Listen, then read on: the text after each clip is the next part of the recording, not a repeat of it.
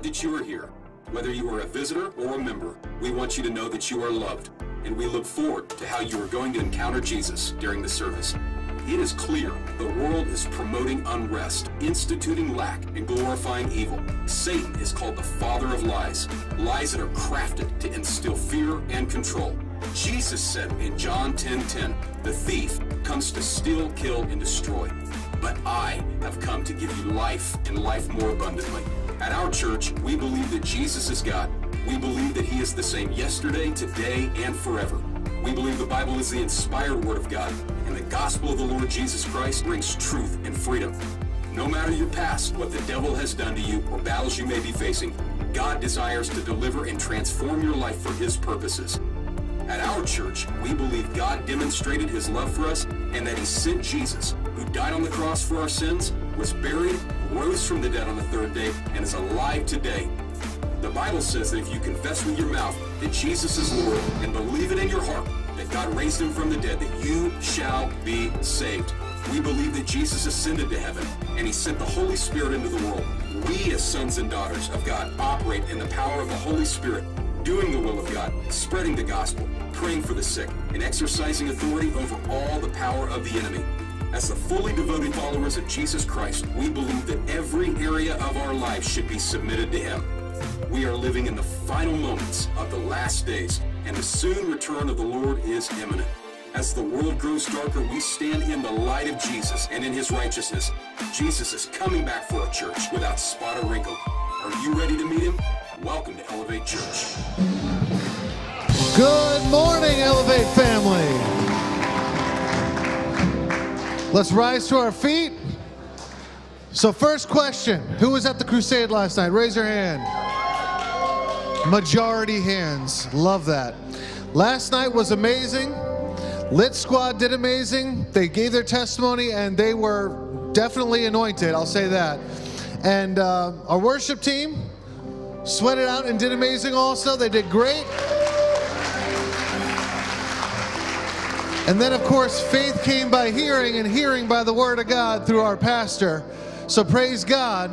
Let's give Jesus a round right now.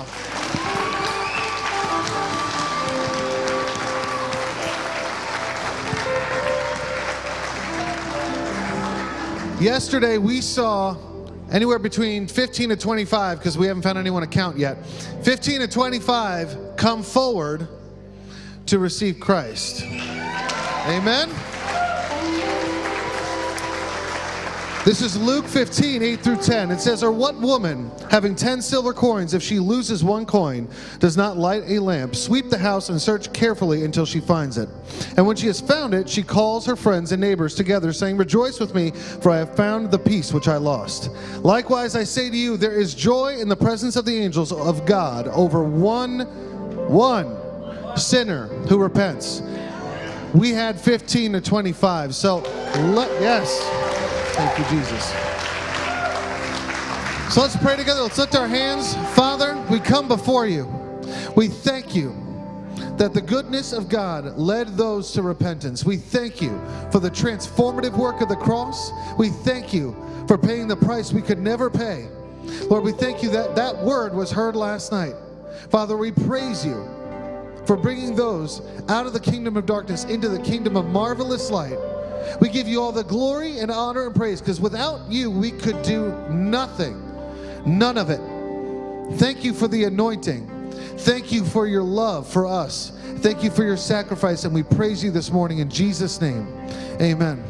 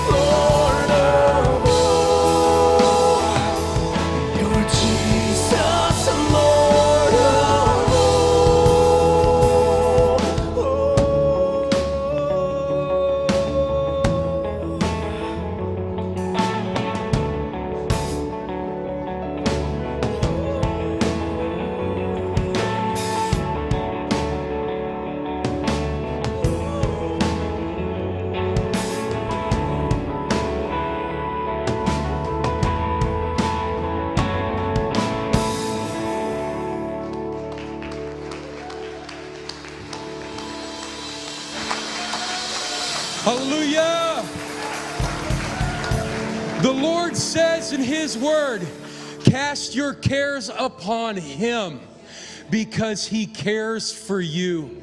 This morning, we have the opportunity because of our faith in Christ Jesus that as the Word of God is being preached, that that word lands inside of our heart. And as we cast all of our cares upon Jesus, we know that He meets every single need that we have because He cares for us. Turn around, greet your neighbor, tell them, Welcome to Elevate.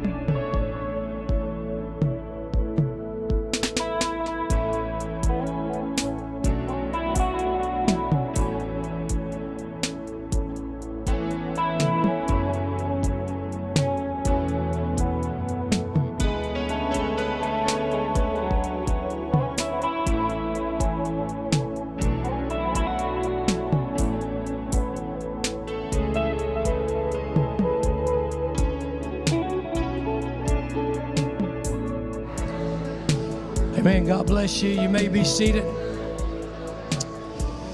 Ooh, those lights are bright. I think I'll move back.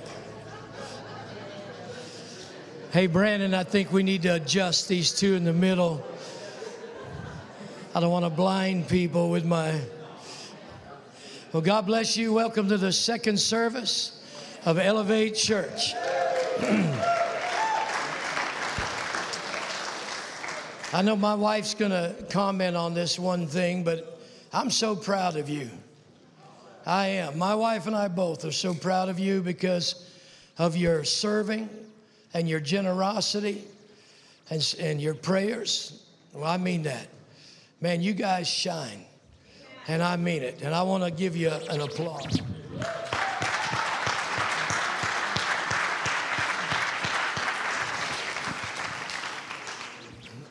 My son's birthday, John, right there. There he goes.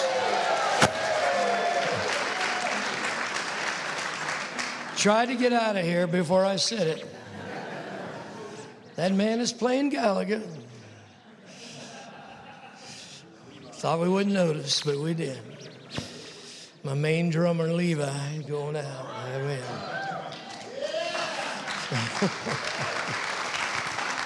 oh boy, that'll cost me.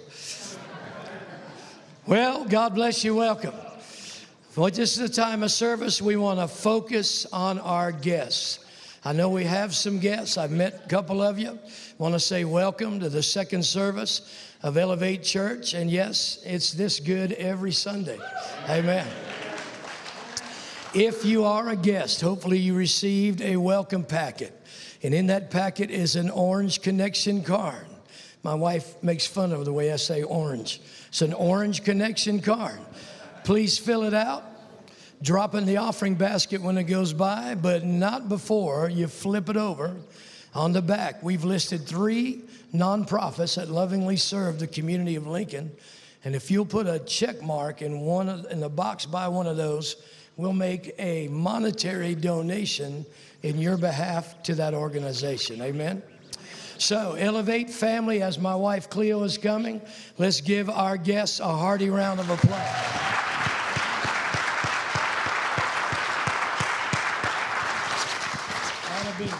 Praise God.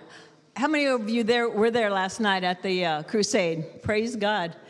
Um, I, re- I really like the Lit Squad. That was the hip hop that was there, and uh, one of the songs they had the audience participation where we had "Stomp on the Devil's Head," and that's just what happened a few years ago when I had John. We stomped on the devil's head because the devil wanted to take us out. He wanted to kill us both. In fact, the Catholic nurses at the hospital baptized John because they figured he was dying. Yeah, he was dying, but but God, but God, different plan, different plan.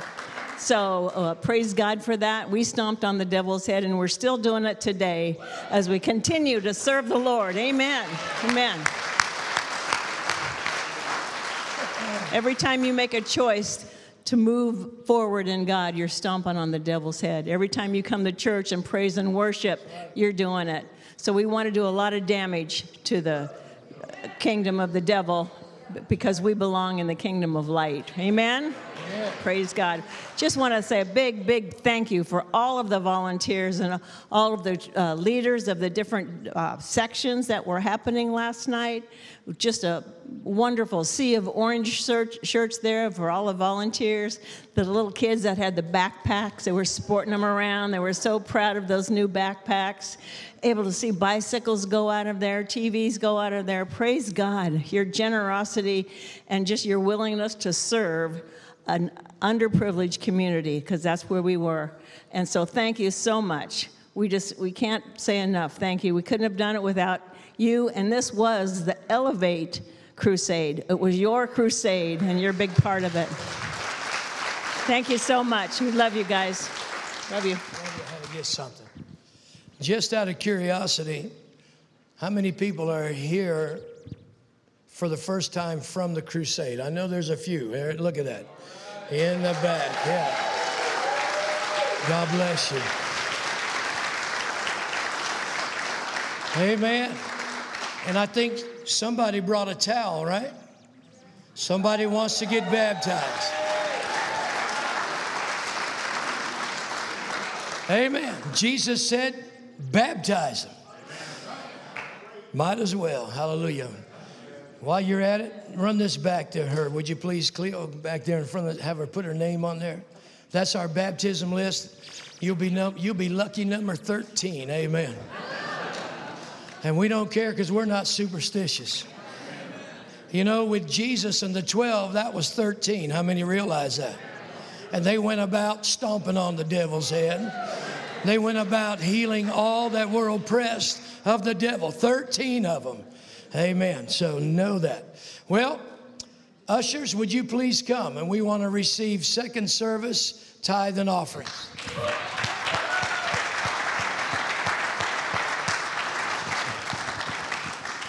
Amen. Lord, Je- pray with me. Lord Jesus, we have worshiped you from our hearts with the fruit of our lips because out of your love that's in us, we thank you that you love us, you provide, you watch over us, Lord. We thank you for everything you've done, what you're doing, what you're going to do. And Lord, we continue to worship you with our tithes and with our offerings out of the same heart of love that you gave us. And we thank you in advance for our provision. In Jesus' name, amen. Amen. Well, while they're taking that up, want to welcome those that are watching uh, via Facebook and YouTube. Want to welcome my buddy Rick Laswell. I hope he's watching. If you are, Rick, text me. It'll buzz in my pocket. Hallelujah. This is our phone app. If you're new to Elevate, download this phone app. Just put Elevate Church Lincoln in your search. Look for the orange arrow. That's our icon. It's free. You, you can creep on us through this app. You can look and see what we're up to. You can give on the app. You can listen to live or current or previous messages. All kinds of information on there. Our ministry, women's ministry, men's ministry, and home groups are all on there. Download that. You can also give via the app or you can give online, elevatelincoln.com slash give. And again, I want to thank this church for all the financial giving that you did for this crusade. You know, we- didn't, people say, What are you getting out of this crusade? We're getting the privilege of honoring Jesus and serving people. Can you say amen? That's what you can't take it with you. Nobody's taking a bicycle with them or a backpack with them or a 50 inch television with them or a car. Can't take it with you. You might as well bless people. Amen. Blessed to be a blessing. You can mail it the old fashioned way, 1235 North 69. Join us Wednesday nights. We have services for all ages, adults in here, junior and senior high next door with our wonderful youth pastors and youth leaders. Uh, thanks to Nate and Elizabeth sitting over there. Then we have a children's church, kindergarten through sixth grade. And then thanks to Natasha and maybe one more, we have nursery, newborn to four years of age. So no excuse not to make it in person. If you can't make it in person, join us live 7 p.m. Facebook and YouTube. Well, you know, today is water baptism. Now, I do know if you forgot a towel, my wife brought a couple of extra. Amen. We were going to throw them in the dirty clothes anyway, so. no, just kidding. They're clean. So if you didn't bring a towel, this is a good slogan, Tony. We got you covered. Just thought of that. Amen. So I'll talk a little bit about baptism at the end of this. If you get saved today, if you give your heart to the Lord today at the end of this service and you want to be water baptized, praise God. You'll drive home wet, but you'll be water baptized. Amen. Eddie B be with us next Sunday. Now you I know many of you don't know who this is. I know who this is. And I wouldn't have him if the anointing of God wasn't on his life. I'm telling you, this guy's an ex gangbanger. This guy's an ex convict. This guy, he- he's a little guy. But he today is an evangelist. He's a preacher. He's a singer songwriter that's had number one hits in the United States and Canada. Every year he goes to between 450, 550 jails and prisons, preaches in there. Multitudes of people get saved. And then he also, as far as I know, has the only school in America specifically targeting training for jail and prison chaplains, male or female, in Albuquerque, excuse me, Albuquerque, New Mexico. He's going to be taking care of everything next week. He'll handle the praise and the worship. He'll handle the preaching. He'll handle the ministering. Eddie B, if you've never seen him, please come.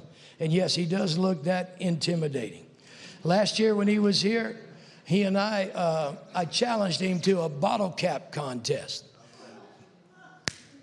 Anybody know how to flick a bottle cap? And uh, mine went straight to the ground. So we've been picking at each other the last couple of months about that. I actually found a video on YouTube how to flip a bottle cap. And just to be fair, I sent it to him also. So uh, we're going to have that contest. So if you happen to see any Bud Light bottle caps in my car, I don't drink. I just needed something to flick. Amen. Flick the devil's bottle caps. Hallelujah. So that next Sunday, don't miss it. All right, would you please open your Bible to the book of Second Kings, chapter 6. Second Kings, chapter 6. Now, I'm telling you, God put this message on my heart last night when I was at the crusade waiting to preach what I preached last night. God began to say one word to me, and it was shift. S H I F T. Don't forget to enunciate the F. Amen. I told Brad, he asked me, What's the title? I said, Shift. Make sure you include the F. I'd probably get more hits on YouTube without the F, but we're going to include it. So the title of this message is Shift. Are you with me? Second Kings, chapter 6, and we're going to pick it up if I turn my Bible to the right place, verse 24. I got to tell you one thing before we go.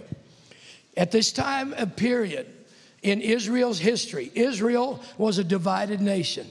There were two nations. There was a nation of Israel and the nation of Judah.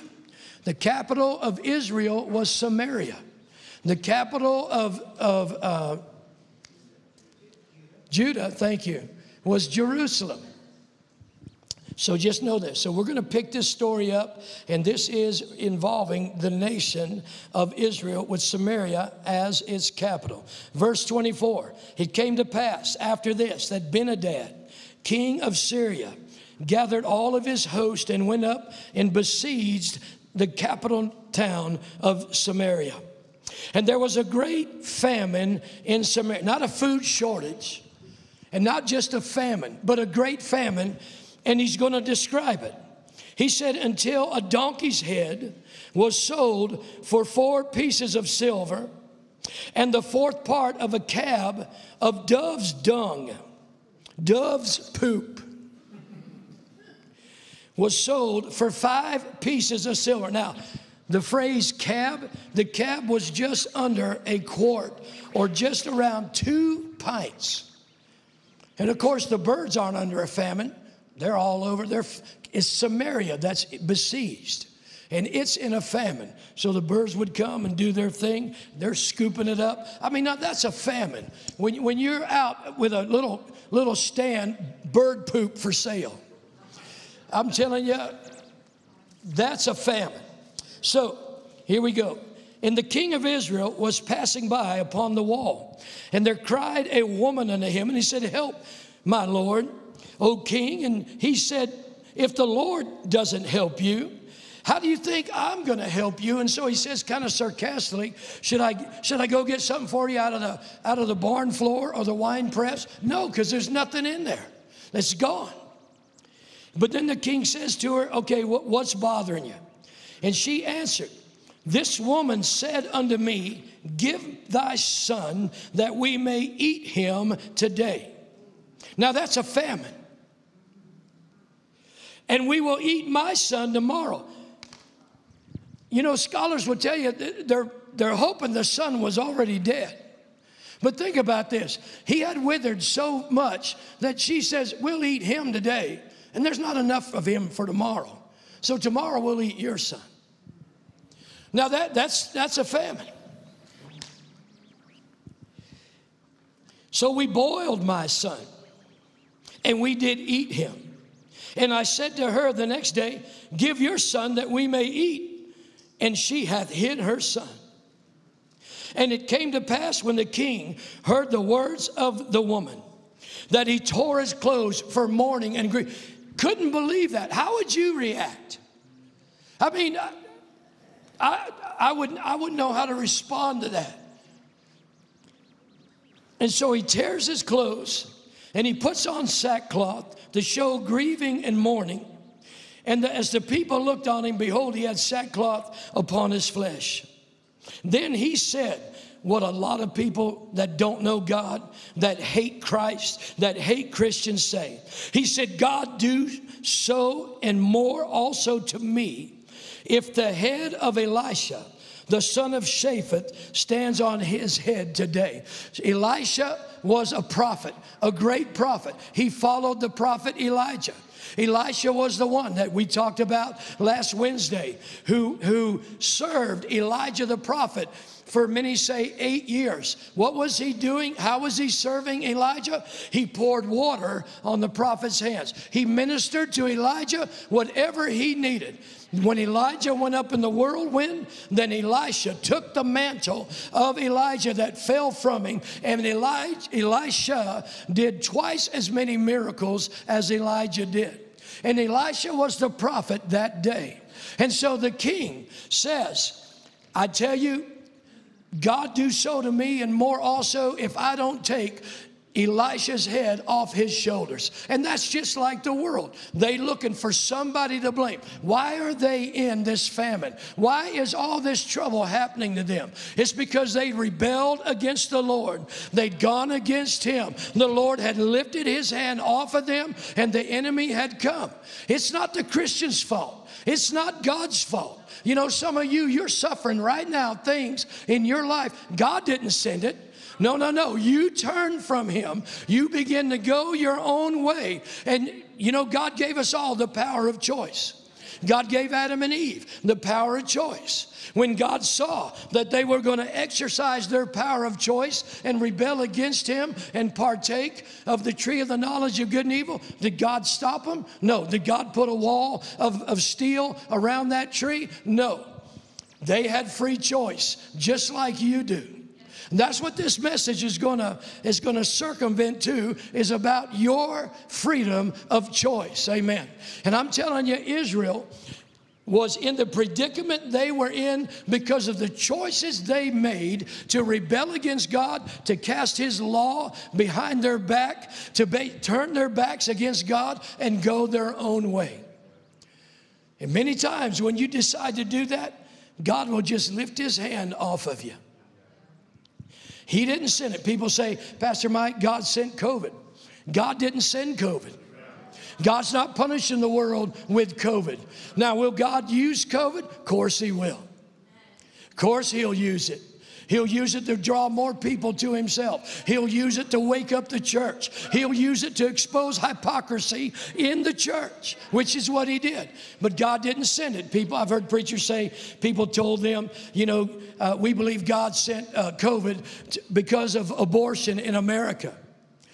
Why would God be killing 75, 80 year old women and men? Anyway, let me go on. So here it comes. And he is mad at the person of God. Verse 32 Elisha sat in his house with the elders, and the king sent a messenger before him, before the king. And before the messenger came to Elisha, Elisha said to the elders, Look, see how this son of a murderer, talking about the king, has sent to take away my head.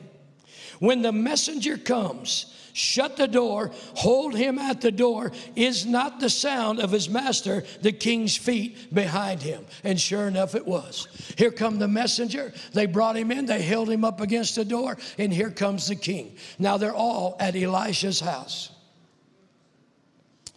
While he yet talked, the messenger came, and behold, the king came, and the king said this This evil is of the Lord. Why should I wait for the Lord any longer? And Elisha, by the Spirit of God, is going to give a prophecy so astounding that the man, the servant, whom, the, whom who served the king, he's not going to believe. And this is it, chapter 7, verse 1. Follow me. Then Elisha said, Hear the word of the Lord. Thus saith the Lord, Tomorrow, about this time, shall a measure of fine flour be sold for a shekel, and two measures of barley for a shekel in the gate of Samaria. That'd be like me standing up here and saying, About this time tomorrow, gas is going to be 69 cents a gallon. And bread is going to be four loaves for a dollar. Yeah, wouldn't that be nice? But I'm not speaking by thus saith the Lord, although I wish I was. And so Elisha tells him that. Well, how would you react? Then a Lord, a servant on whose hand the king leaned, answered and said, to the man of God, Behold, if the Lord would open the windows in heaven, might this thing be?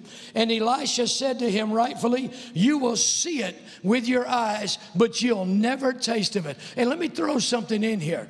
Who is the hand of the Lord revealed to? Isaiah 53 says, Who has believed our report, and to whom is the arm of the Lord revealed? It's not revealed to doubters. I said, It's not revealed to doubters. It's revealed to those who, at this point, maybe you couldn't even believe this, but you, you know what should come out of your mouth? What should have came out of his mouth? The will of the Lord be done. Man, when you hear something so good and you, you can't, don't let negativity come out of your, don't say, I don't see how that can happen. I, I, I, you're crazy. That'll never, why don't you just say, let the will of the Lord be done? Amen. So Elisha tells him, You'll see it, but you'll never taste of it. And now we're getting into the part of the message I want to get into. There were four men with leprosy sitting at the entering in of the gate. And they began to say to one another, and this is a question I want you to ask yourself why sit we here until we die? Why sit we here until we die? There's, and they, they begin to reason among themselves. But that's the question I want to ask you. Why sit you here until you die? In whatever place of your spirituality you're in. Listen, in the year 2000, my wife and I, we were in a, involved in a ministry, and that ministry had took a turn against us. That minute, and people still go to this church that know what I'm talking about. They were there. Amen. And they will vouch uh, for what I'm going to tell you. I'm not going to get in a lot of detail because I'm not looking to smear anybody. But that ministry had turned against my wife and I and had shut us out of many things. Well, I was like going to be 46 that year. I didn't, I didn't, I had no plans on starting another church. Our church and just this church had merged together a few years before. Amen. And with that, my wife and I and some other people were sent from that church out on the mission field down in the Durango, Durango, Mexico. That's where we were. And so when we came out, everything was fine. We were back at that church. Uh, I was associate pastor. The other fellow was the head pastor, and everything was going good for about a month. And then all of a sudden, I don't know exactly what happened, but there was a change. And so for the next possibly year and a half, it was just miserable. My wife and I, we didn't know what to do. I couldn't hear the voice of the Lord for some reason, probably because who knows what, anger or whatever. I couldn't hear it. And so we went down to Georgia to visit uh, some of our relatives. And on the way back, we stopped in a little town, Liberty, Mississippi, and went to a church called New Day Church of a pastor who had supported us when we were on the mission field. His name was James Dawson, not Dobson, Dawson, D A W S O N. And so we stopped there. Now, Brother James, Pastor Dawson, he knew a little bit about what we were going through, but not a lot because we, we just didn't tell him a lot. There was nothing he could do. But he knew a little bit. But that day, we sat in that service, probably about 250 people were there. And he began to preach this message right here Why sit we here until we die? Now, Cleo and I had been praying. We'd been praying, God, show us what to do. God, we, we don't know what to do. We need your guidance, we need your help. But for a year and a half, we didn't know what to do. There we sat in that service and he preached. You ever been to a service where it's like the preacher's preaching right to you? And everybody else might as well go home. And like all of a sudden you don't see anybody. All you have is tunnel vision for that preacher. And you, you think for sure he was eavesdropping on your conversations. Amen. And so he preached this message why sit we here until, until we die? And man, I'm not kidding you. I still have the bulletin from his church from 22 some years ago at my house with my notes in it. We went back to our room where we were staying. And I know Cleo and I got together. I said, Cleo, we've got to make a move. We, we've got to make a change. Something's got to happen. I said, we are dying in there. Our ministry is stifled and we, we are dying. Something's got to happen. I said, you know what? Let's go back and, and, and tell that pastor that we are we, we're done, that we will be out by the end of August and, and, and we're done. I said, Cleo, I don't, I don't even care if I have to go get a secular job. Praise God, I'll do it. But let, let, can we agree? And so we agreed. And the moment we agreed in prayer, I kid you not, there was a great burden lifted. The joy of the Lord came back into our lives. We went back, we told that pastor, Amen, because he's good. We told that pastor, hey, by the end of August, we're out of here. He got excited because he was wanting to get rid of us. He got excited, and anyway, and that's how Elevate Church got started. So Elevate Church got started out of a dismal situation that God used to kick us out of the nest. Can you say amen? Yeah.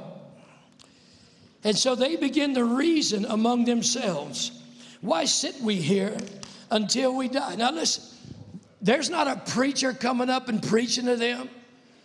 Amen. They're, they didn't go to some uh, camp meeting or revival service and hear this. They just begin to reason among themselves, just like the prodigal did in Luke's gospel. You know, the prodigal that left his father's house and spent all of his living, on, all of his money on riotous living. And here he is, a Jewish boy, went to work for a Gentile farmer, which he wasn't supposed to do.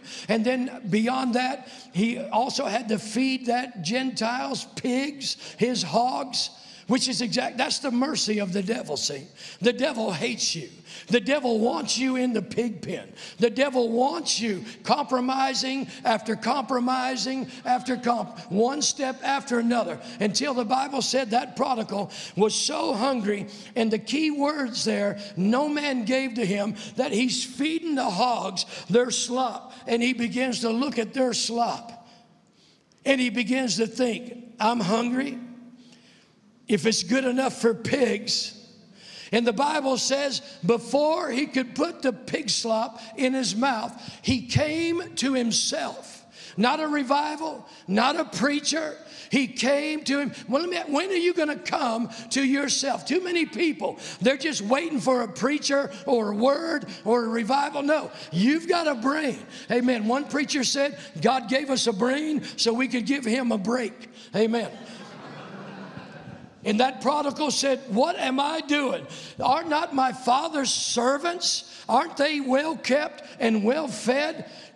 I know I can't go back as, as a son, but I can go back as a servant. Well, here's these lepers, and they start to reason. Let's read it in the next verse. And so they're sitting there, they're dying. They got leprosy. Leprosy kills you. And they say, Look, why are we sitting here? What, what in the world are we doing? And then they said, Well, let's talk about it. In verse 4, they said, If, if we go in the city, well, the famine's there. If we keep going to this dead church, come on, the famine's there. You're starving in dead churches. You're starving in churches where the Spirit of God is not allowed to move, where there's dove's dung, evidence that the Spirit of God had been there but he's not there now. They said if we go in, into the city, if we go into that church, we're, we're going to die. They said if we sit here, we're going to die. There needs to be a shift. See, some of you, you've been in park too long. Hear me. You've been in park about your relationship with Christ. You've been in park about your relationship with your spouse. You've been in park about your relationship with your children and others. Time to get out of park. Time to move and put it in drive and make some kind of a move towards God. You got to do it because the more you sit there in park, you're going to die. Your relationship's going to die. Your health is going to die. Your spiritual growth is going to die and maybe already has. They, so they begin to reason. I love this, that they begin to reason. Why sit we here till we die? Okay, let's talk about it. Should we go into this city? No, there's famine there. There's debt there. We go there, we're going to die. Well, maybe we should just keep staying here. No, we're dying. We're going to keep dying if we stay here.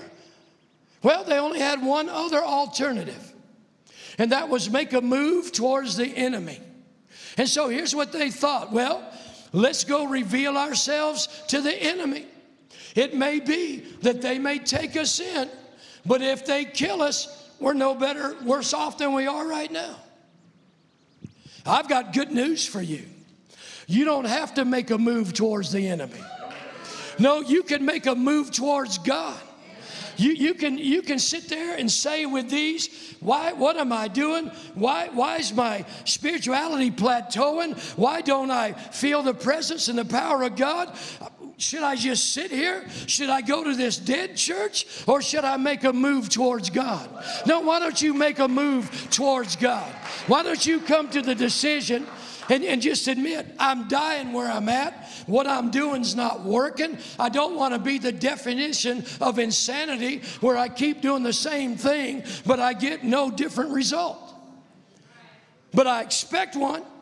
You know that's the definition of insanity, right? Doing the same thing over and over while at the same time expecting things to be different. They're not going to be different until you make a move. Hello, God gave you free choice. And you can choose to stay at the gate and die, or you can choose to make a move. Pastor, I'm fearful to make a move. Make it anyway. If you don't, you're going to die where you're at. Pastor, I don't I don't know. Listen, God's not out to to damn you. God's not out to hurt you. God's not out to embarrass you. No, God's out to bless you. God's out to fill you with the Holy Ghost. God is out to prosper you. God is out to use you as a vessel of honor. But you got to make a move. Pastor, I'm waiting on God. No, God's waiting on you. God's done everything that He could do. He's not going to make a robot out of you. I love Jesus. I will worship. No, He wants willing vessels. See, some of you, you're still, and, and I say this as a loving rebuke, because I turn around and I watch, or I'll go in the back and I watch, and during worship. And, and some of you think you're spiritual. I could call a name out right now, but I won't because it'll embarrass you. Some of you think you're spiritual, but here's how you do in worship.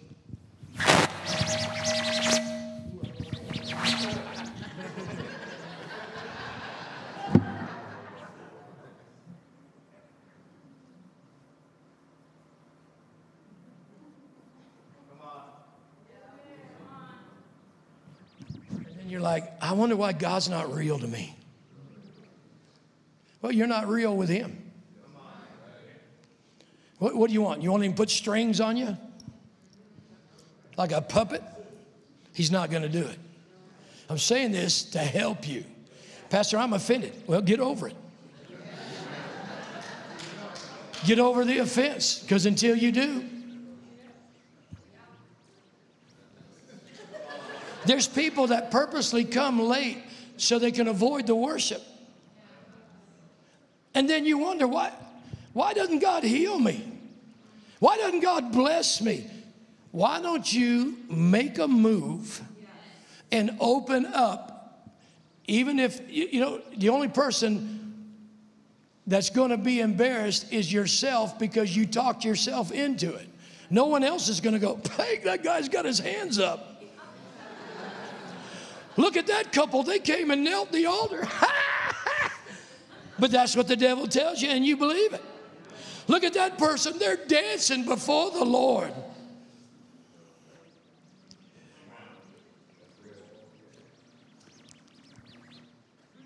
Why sit you there till you die? So, here comes the good part I like. Oh, I like all this, but verse 5. So they rose up in the twilight.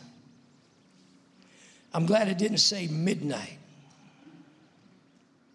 I'm glad it was the dawn of a new day. Because listen, when you make a move for God, that's your dawn of a new day.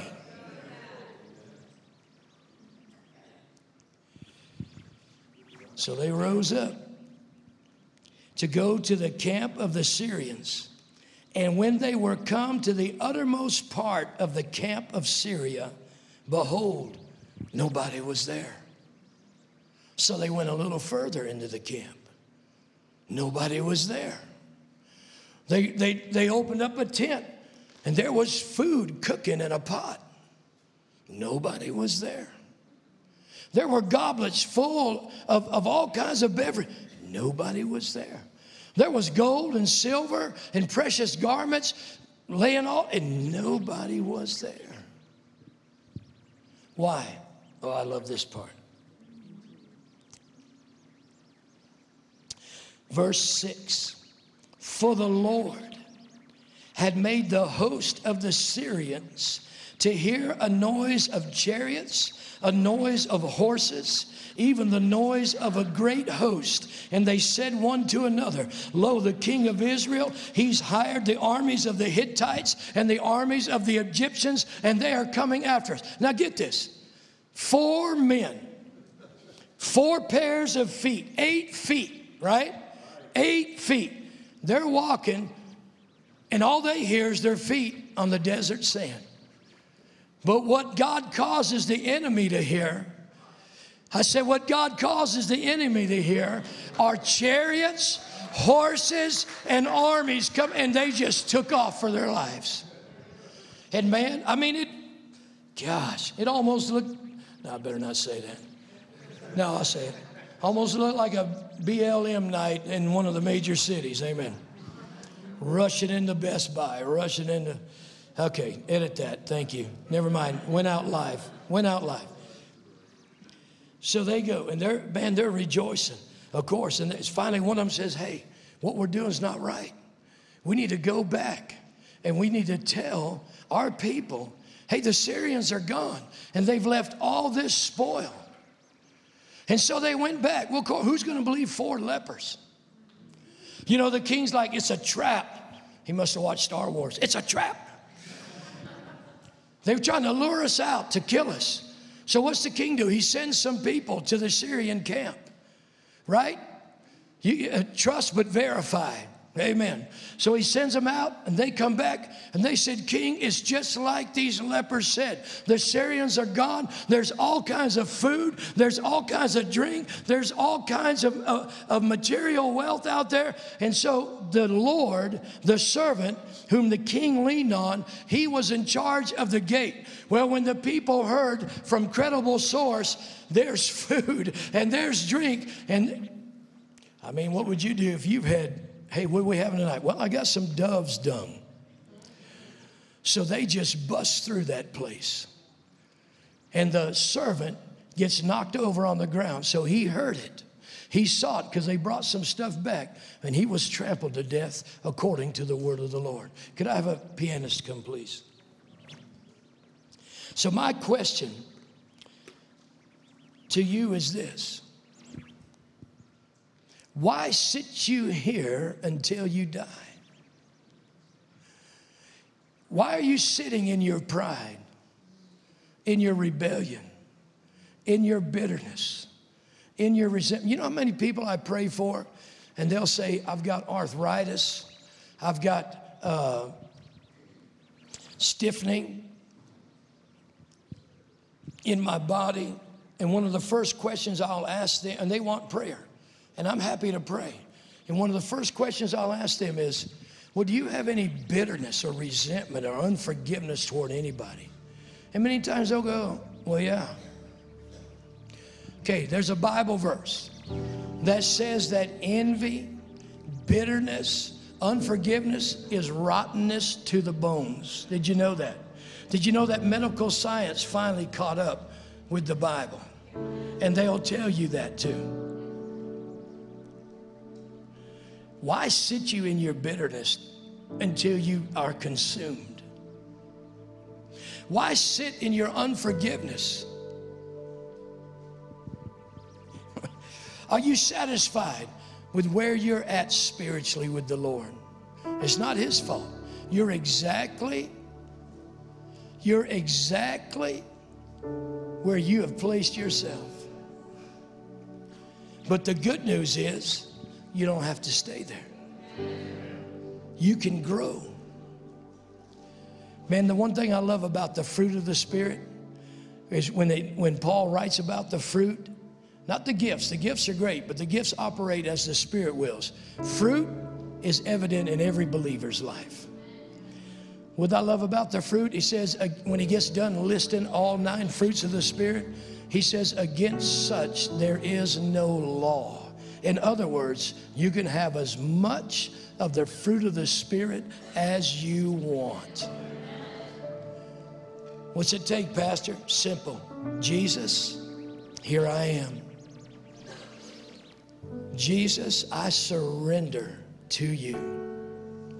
Lord, I forgive everyone who I had anything against, everyone who's abused me, everyone who's spoken against me, everyone who's, who's tricked me, used me, stolen from me, everyone who's smeared my reputation, everyone who's drug my name through the mud, Lord, everyone who's taken me financially, Lord, I forgive them. I loose them, I let them go. And Lord Jesus, I ask you to forgive me and I receive it right now. Now you're on your way. In the Bible, Jesus, in a parable, he compared forgiveness and he called it cancellation of debt. You see, when somebody hurts you, however they did it, physically, verbally, financially, relationally, when they hurt you, you feel that, that, that, that they're indebted to you, that they owe you an apology. They owe you to say they're sorry. You may never get it. And some people are waiting for that, and so they are sitting there dying. God can't use them because they won't submit. Oh, here comes another sermon. You got another hour? Because they won't submit to the see this it says in Peter that God's word is either a stepping stone to help propel you to your next step of spiritual maturity or it's a stumbling block that you fall over. Why? Because you won't submit to the word. And when the Word of God, I'm telling you, someone's stuck here. When the Word of God tells you to forgive and you refuse to forgive, you're going to keep stumbling over that Word of God and your spiritual growth is going to be stunted. And you may say, Well, Pastor Mike, you don't know what they did to me. And you're right, I don't. But it can't be anything close to what we did to cause God to put His own Son to death on the cross and to suffer greater than any human being has ever suffered. I know it hurts. I know abuse hurts. But it's going to hurt you worse the more you, the longer you carry it around. Man, I feel we need to do that. And listen, I don't need to call you up front because my laying hands on you or any preacher laying hands on you is not what's needed. What's needed is an act of your will, your choice. You choose to forgive.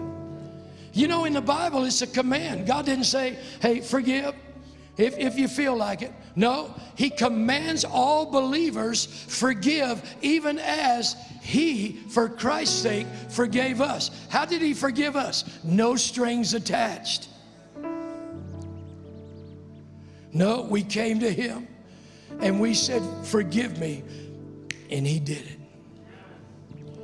And he, he said, If you don't forgive others, he said, Jesus said, Neither will your Father in heaven forgive you of your trespasses. Every head bowed, every eye closed. I want to pray on that for a minute. I'm not, I'm not going to ask you to stand. I'm going to ask you to be honest with yourself while you're sitting. I don't need you to stand. I don't, I don't have a, a agenda to fill. But you know who you are. And Jesus knows who you are.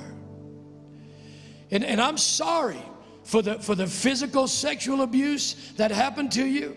I'm sorry for the financial abuse that happened to you. I'm sorry that people ridiculed you and made fun of you and drug you through the mud.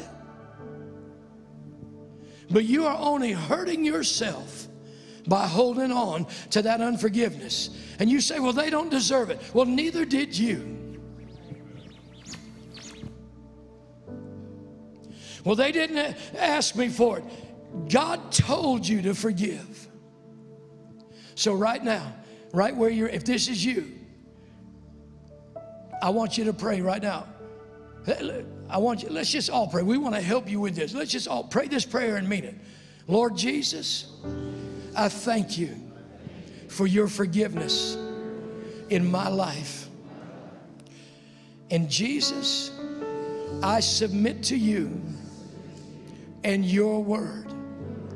And so, as an act of my will, in obedience to you, not by my feeling, but by my faith in you, I forgive everyone who's hurt me, harmed me, ridiculed me. I forgive them all in the name of Jesus. I loose them, I cancel their debt, and I let them go free. And Jesus, I repent and I ask you to forgive me, and I receive it right now in Jesus' name. Amen. Give me.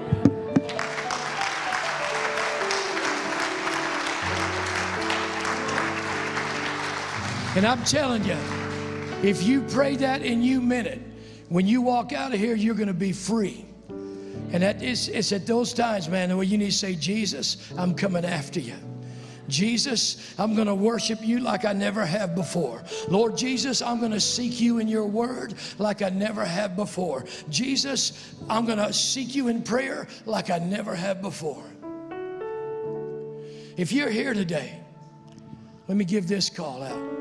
If you're here today and you've never asked Jesus Christ to be the Lord of your life, Maybe you believe in him and you say, Yeah, I believe in him, Pastor. If you were to ask me, Hey, you believe in you? Oh, yeah, I believe in But you've never opened up your life. You've never surrendered, submitted yourself. Or if you're here today and at one time you walked with the Lord, but for whatever reason you turned your back on him. But today you're saying, Pastor, I want to recommit my life to the Lord.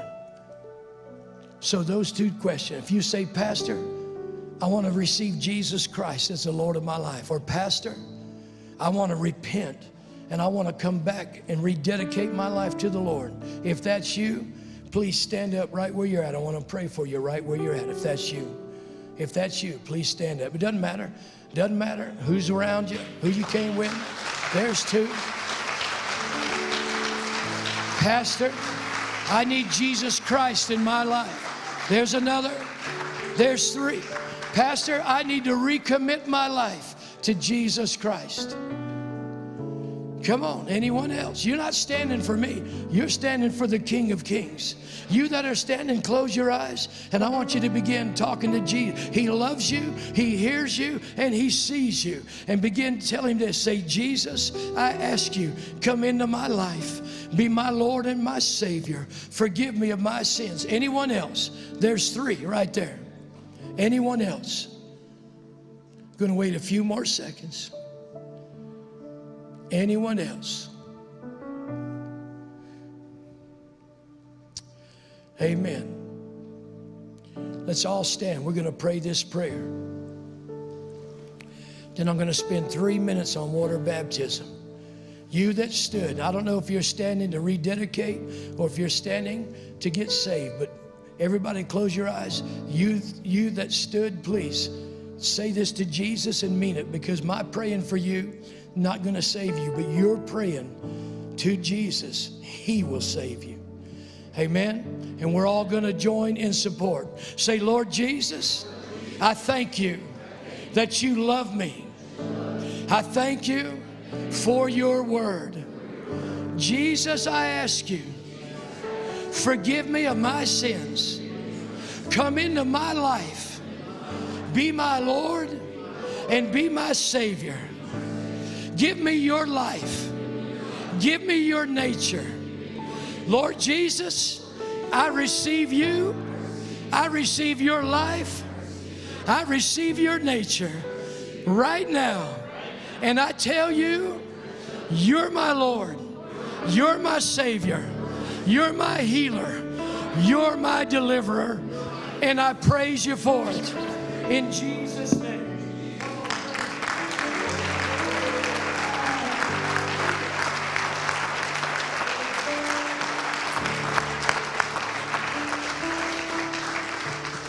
Amen. And you three, Michael is going to get you uh, those, right? Those packets. And Michael will be standing at the door right there, the exit door. Please grab one of those when we go. Real quick, I'll leave you standing, so I'll say this quick. We're going to go out to be baptized. Uh, you that are going to be baptized, here's how this works.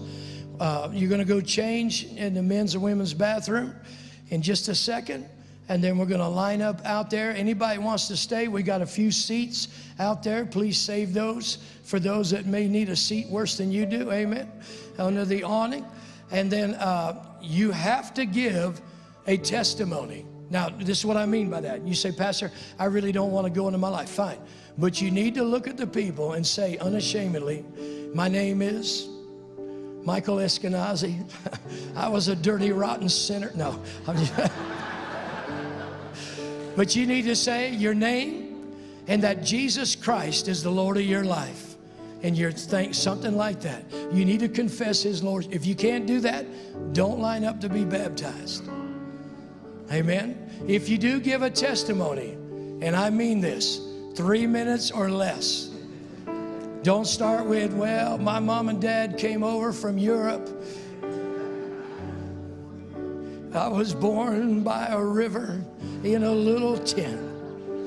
Amen. God bless you. May his face shine upon you. May the Lord richly bless the work of your hands, your families, and yourself in Jesus' name. So go change. And those that uh, are going to be baptized, I'll meet you outside.